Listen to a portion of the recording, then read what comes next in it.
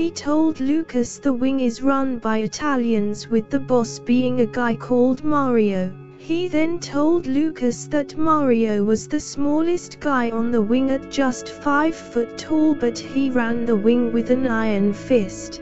He even controls the guards which is probably the reason why you are here.